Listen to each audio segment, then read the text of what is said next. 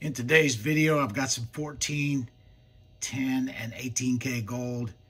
And uh, I've calculated the amount of silver I need to quart the gold. We're expecting 93.4 grams of pure gold from this refining. And uh, let's get to it.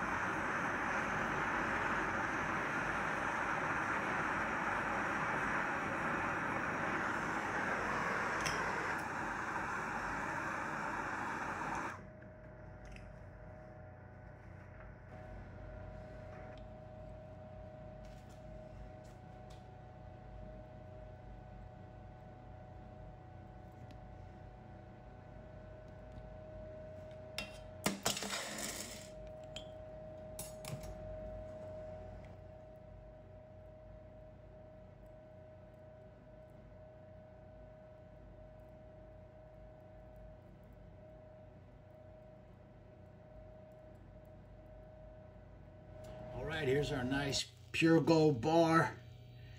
Got some obvious surface contamination there. Uh, that's we could have got that off if we'd have done a uh, a second refining on this. This is just a single refining, and uh, that'd be quite all right. We're gonna send this into the big refiner.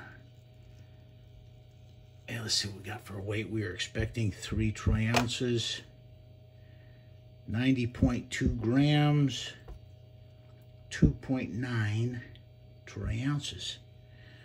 All right, that'll conclude the video. I'd like to thank everyone for watching.